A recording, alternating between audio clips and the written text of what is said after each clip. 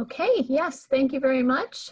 Next up, we have Myles Dillon from Regeneron Pharmaceuticals, sponsored by Immudex, and the title of the talk is Multiplexing Oligo-Dextramers to Pair TCR Specificities with Phenotypes.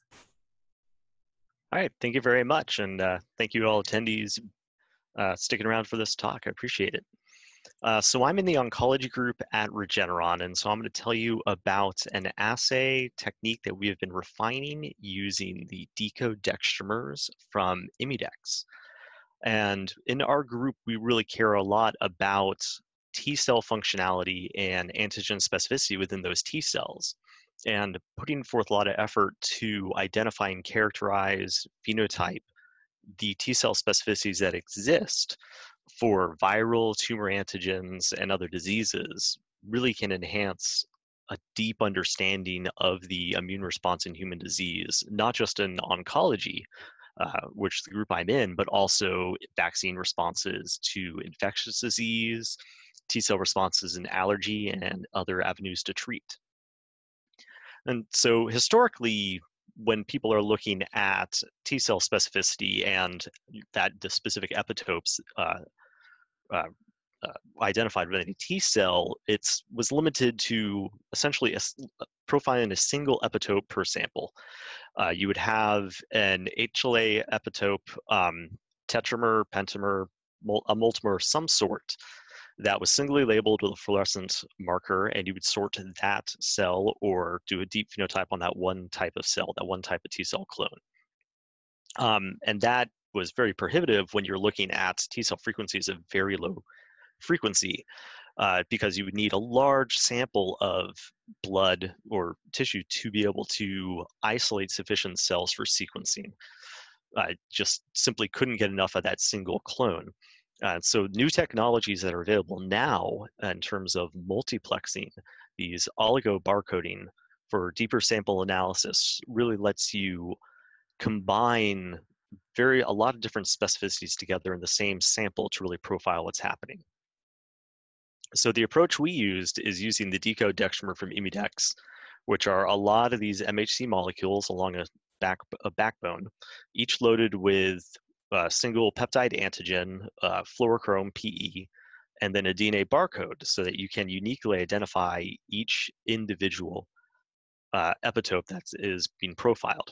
And so a different DNA barcode can be associated with a different peptide antigen to let you profile many, many different specificities in the same sample.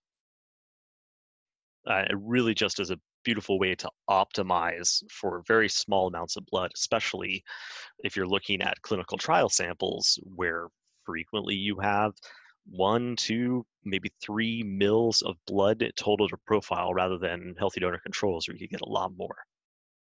So in the study that I'm going to show you data from, we used a pool of 23 of these unique oligodextramers really to profile uh, peripheral T cells in both an HLA matched and mismatched fashion to uh, and th- take them to single cell sort- sorting to look at these antigen specific T cells.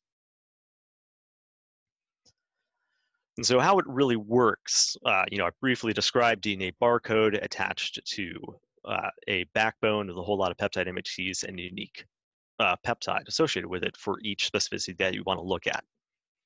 You generate a library of these many, you know, each of these colors denotes a different peptide here.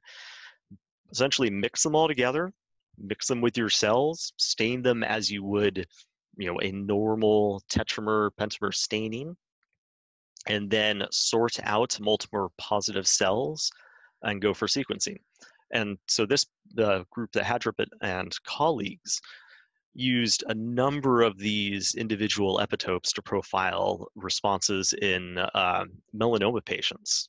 And so each column here is the antigen specificities present in the peripheral blood for a unique melanoma patient.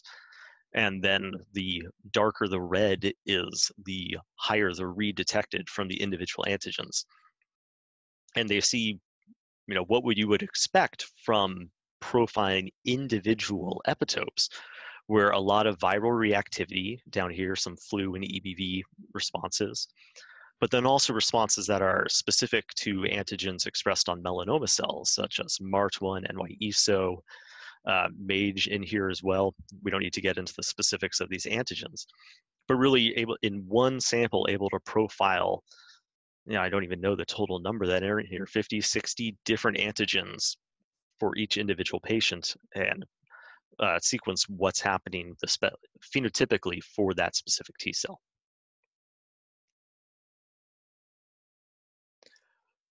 And so we use this concept with the decode to uh, use it, perform an assay in our own hands, where we'll take those labeled cells, similar as I described, you know, the uh, cartoon diagram of flow sorting here, taking our live cells and our CD8s and then any dextramer positive and putting them in the same 10x single cell sequencing that was just talked about.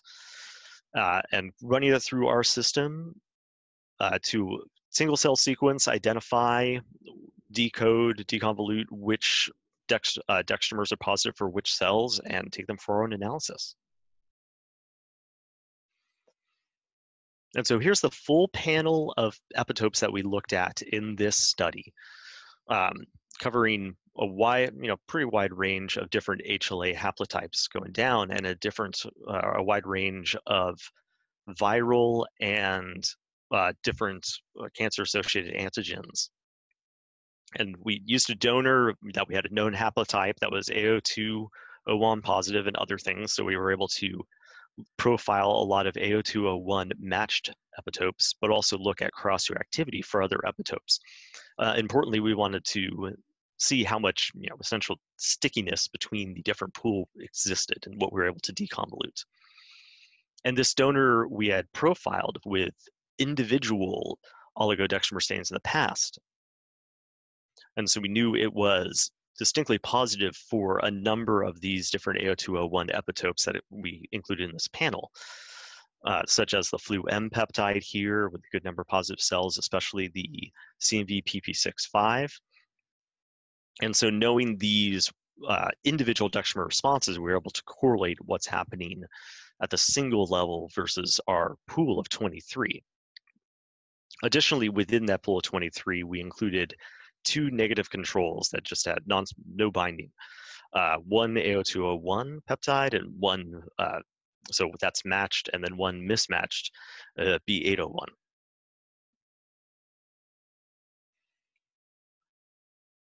So the process for sorting these, uh, you know, we mix them all together, pull them, and then these are the individual sorts that we got off the machine. So our uh, FMO uh, one single PP65, so just only the PP65 peptide in this case, uh, came up with a pretty high population for a single dextramer staining of 0.53.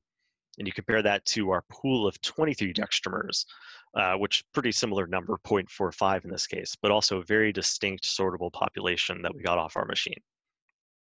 Additionally, we sorted uh, the total T CD8 T cells to get a repertoire control for various sequencing analyses.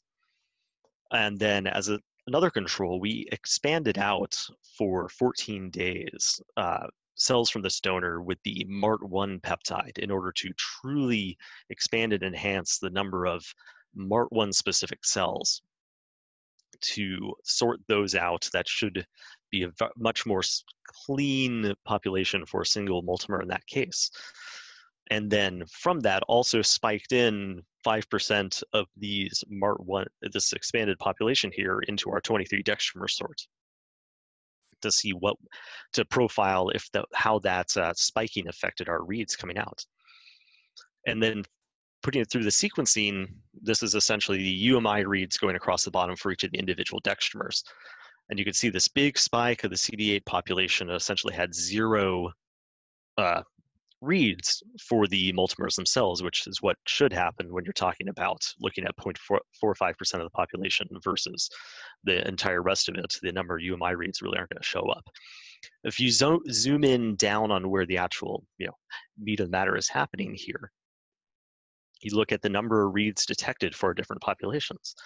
And so the 23 dextramer pool had a very uh, nice, clean UMI reads present in almost every single cell out there, very few come out in this no dextramer size, showing the efficiency of the staining and sorting. Uh, the same thing seen with the 23 dextramer pool with the MART1 spike in this purple. Uh, and then the MART1 expanded population itself also had very distinct reads separate from the no UMI population down here.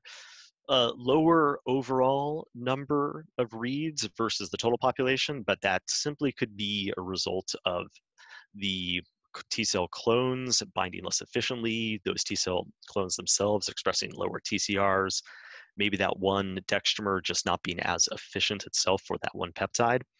There are a number of reasons. And so from this sequenced population, uh, we did some basic analysis uh, in terms of clustering of what we're seeing. And so if you look at the total CD8 T cell population, so that repertoire control, where there were very, very few uh, UMI reads detected for the dextramers themselves, which is what should happen. Uh, all the T cells clustered pretty nicely together, except for a little population out there, and very few other contaminants such as neutrophils and compare that to what's happened in the dextramer sorted pool. Pretty much the same kind of thing, very tight clustering, all the T cells getting there together, really showing the specificity of the sort that you're able to get out from this staining. Just a few B cells and neutrophils popping out, out there. Now, importantly, this technique is compatible with a number of other DNA barcoded technologies, such as CITE-seq. And so we included uh, antibodies with different unique DNA barcodes specific for CD3, CD8, um, CD4, granzyme H uh, in, in the entire process. And you could see very strong unique staining for CD3, CD8 since we stored it out CD8 T cells. Nothing coming up for the CD4. Really, this technique, proving this uh, technique is applicable for many different DNA barcodes mixed around together. And then from this population of the 23 dextramers, just looking at gene enrichment, and what happens is exactly what we'd expect. Each cluster is specific for a specific um, dextramer, or at least it seems that way, because the clustering is driven primarily by the TCR genes expressed by each clone that's out there. And you basically looking down this list, anytime you see TR, it's the uh, T cell receptor gene.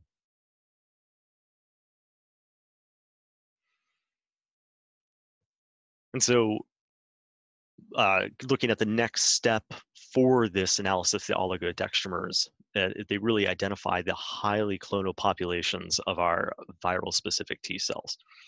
And so on the left uh, is a heat map basically on the clone size of each specific TCR. The dark, the more purple, the higher the number of clone sizes, and what you see is the vast majority are quite clonal population, which is exactly what you would expect when you're doing just a directly ex vivo uh, binding. The anything that you've been exposed to that has expanded in the periphery is going to be a very highly clonal population. That's where our CMV, EBV viral specific epitopes come from. And on the right is another way to look at that clonality, breaking it down by our different sorted pools in this case. Uh, looking at the frequency of any clone versus the size of any clone. Uh, and then the blue here is the repertoire control. You see a couple high frequencies, but pretty much going, or sorry, low frequencies, and then going down uh, as the uh, where the repertoire is versus the purple for the dextramer pool, that 23 dextramers that we sorted. Uh, very sharp contrast where we have a much higher number of clones isolated in there at higher frequencies and then our mixed MART1 um, expanded population falls somewhere in the middle because there are fewer uh, dextramers that were in there. Um, so it's much more specific read that you're seeing.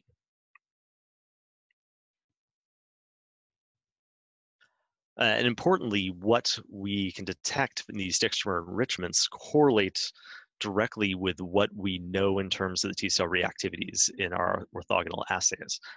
Uh, so show, mentioned before that we stained all of these with individual dextramers as well to know what our populations look like. And then each of these numbers are the number of total T cells detected within each dextramer from our pooled population. And that's over here on the right in this table, where for each uh, dextramer that's a row, the number of total T cells we detected and the number of unique clones that we detected within it. Um, and so you can see that when we have a pretty big population for our dextramer positive single um, stain for like the PP65CMV, that's our highest population of T cell clones. Also is significant uh, in our EBV BMLF clone, high number of T cells that were found there, and so on and so forth. Uh, and getting down into the single detected uh, T cell clone associated with the HPV uh, 16E7, one one T cell was found. You know, obviously one unique clone at that point, and pretty much we'll say no binding seen at the single dextramer level in this case. You know, we wouldn't uh, call that positive usually. And this also correlates with the functional response of these specific cells.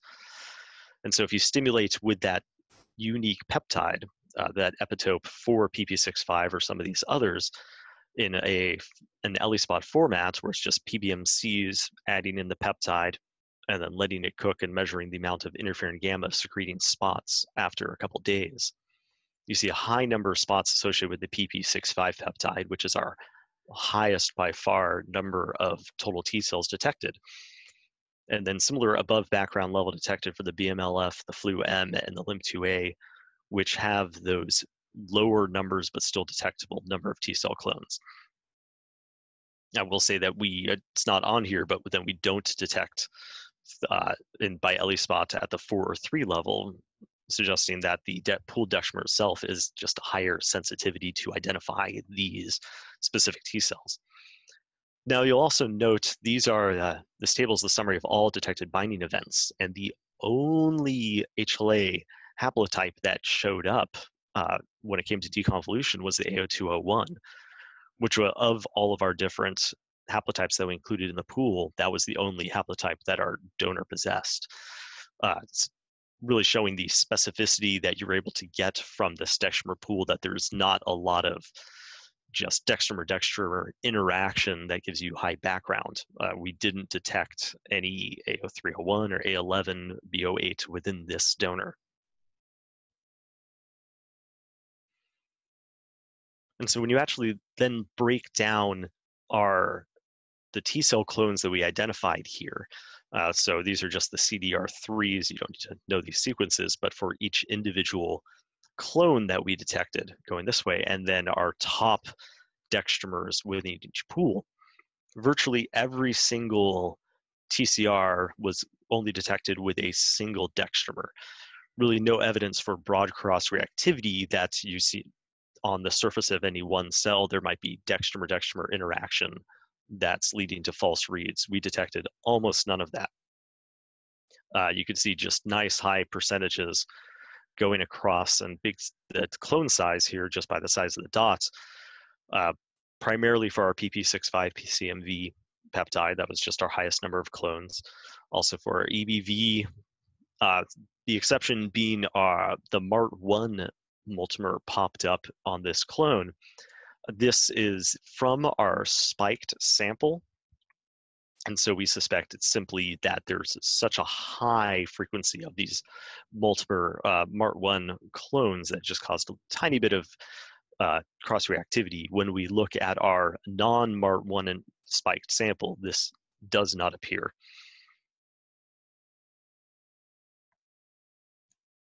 And so, oh, finishing a little early.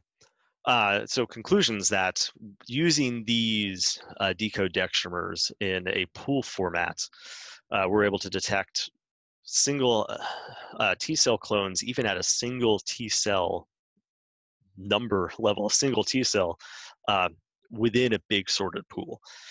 we've done 23 now. We've gone up to 50 decode dextramers, and things are looking pretty clean. And so this technique just enables a really highly multiplexed uh, sequencing profile of antigen specificity within your T cell phenotype. really getting in-depth look at what's happening in that person with a from minimal amount of sample. You know, you do the same thing and you would need 10 million cells for each dextramer looked at, where now you can look at 50 and you know just five to 10 million cells. And that multiplexing really allows that detection of those low frequency T cell specificities that you wouldn't look be able to find in any other level. Uh, you can't you know other techniques won't let you pull out that single t cell clone all by itself for sequencing. It just wouldn't work. And so as we keep going with this we want to see how far we can push it. Uh, we've done 23 we've done 50 can we increase that number of dextramers in the panel up to 100 500 really what's the limit uh, we don't don't know haven't been tried yet. And we're currently applying this technique in a variety of our clinical trials looking longitudinally along with treatment with uh, our various drugs to de- really determine changes in phenotypes of antigen specific T cells and how our drugs might take advantage of that, or maybe even other uh, ways to combine different drugs or new targets that might be found within it. And this work was done by a whole lot of different people, and especially like to think uh, thank people within the Antic group, such as Say and Jessica, for helping out with this. Uh, a, lot, a lot of people at Regeneron and molecular profiling, and of course, Immudex for helping us design many, many different uh, as we're doing this entire process. And thank all of you. Okay, wonderful. Thank you so much for a really great talk, Myles. We really appreciate it. Um, and I just want to remind everyone that you can utilize that Q&A function for any questions that you might have. And um, that being said, we'll get going with our first question. So uh, Remy Crusoe uh, asked if uh, is this technique this technique is very dependent on available reagents, often restricted to specific, uh, mostly uh, most commonly HLA haplotypes. In what direction do you think expansion will go uh, more antigens, more haplotypes, or more disease models, for example, autoimmune TCRs? Yeah, uh, more disease models, that's easy answer. It, it could be applied across anything provided you know what antigen you want to look at. If you could get sample, you can use this technique on it. That shouldn't be an issue. Um, new, any new antigen that you order, uh, essentially maybe a custom one you, you want to look at. You need to know the epitopes you want to care about and the HLA haplotypes. Uh, but provided you know that, uh, we have not had a failed uh, production of any custom dextramer yet. Um, you know, everything that we request is highly predicted to bind to the HLA haplotypes, and everything's worked out for us. Uh, but you do need to know the epitopes and the haplotypes you want to care about. Uh, there are some HLA haplotypes, especially when you get into the rare alleles, that are not as easily produced uh, in terms of a soluble protein, and that can be limiting. Uh, but most of the, I get most of the most the the most common HLA alleles are available, uh, and so really it's whatever you want to custom order. This should be able to work on it. Okay, wonderful. Thank you for that explanation and the answer.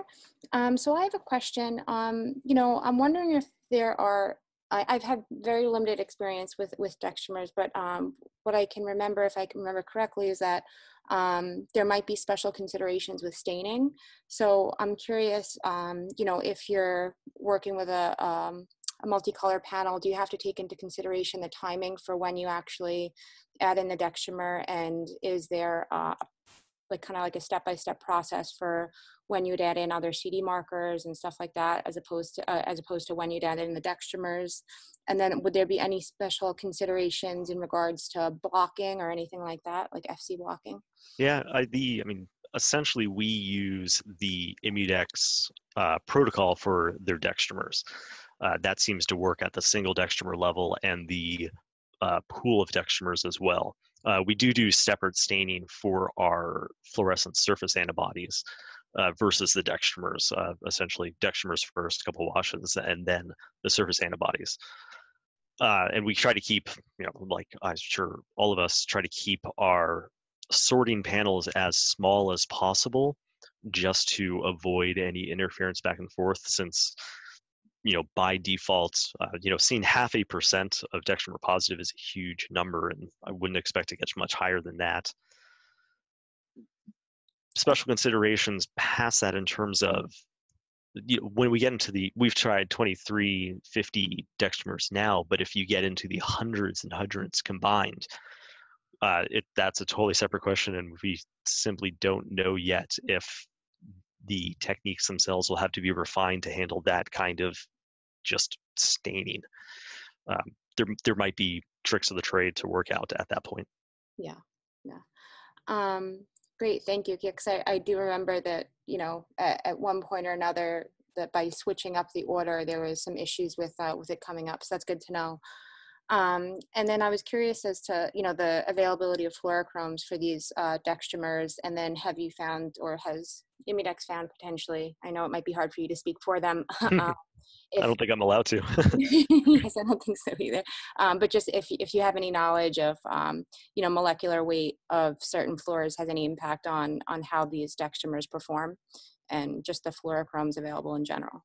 Uh, we've only used the PE uh, in this pool form so far. Uh, so I ha- we haven't tried any others, and I yeah, you know, like like you said, I don't want to speak for Immudex for any issues they've had with different conjugations. I, I don't have any information about that. Okay. Well, I'd imagine PE is a, is a fairly large molecular weight in comparison to some of the other um, to some of the other fluorochromes. Yeah. So good, good to know. About. If works, you know, smaller ones should, right? yeah. Um, okay, and then uh, just out of curiosity, have you tried um, doing any of the dextramer work on any imaging platforms like the Amnis, or do you think there's a possibility for it to be expanded out for mass cytometry or anything like that? Oh, it's a great question. Uh, we haven't tried it.